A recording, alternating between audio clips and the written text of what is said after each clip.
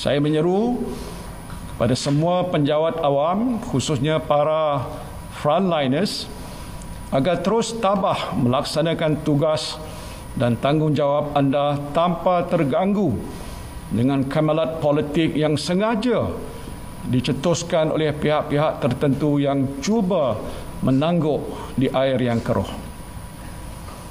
Saya tahu bahawa mereka kurang senang dengan ketegasan saya untuk tidak melayan beberapa tuntutan mereka termasuklah desakan supaya saya mencampuri urusan mahkamah untuk membebaskan beberapa individu yang sedang didakwa atas kesalahan jenayah. Saya juga telah dituduh menderhaka kepada raja. Sedangkan apa yang saya lakukan adalah semata-mata untuk memelihara keluhuran perlembagaan dan mempertahankan kemuliaan institusi raja berperlembagaan.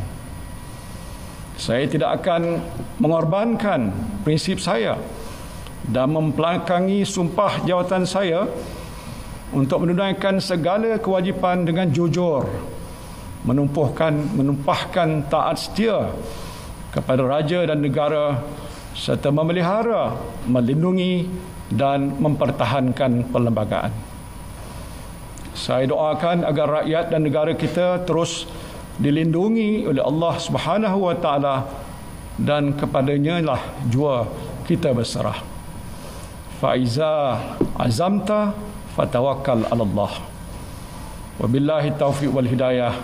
Wassalamualaikum warahmatullahi wabarakatuh.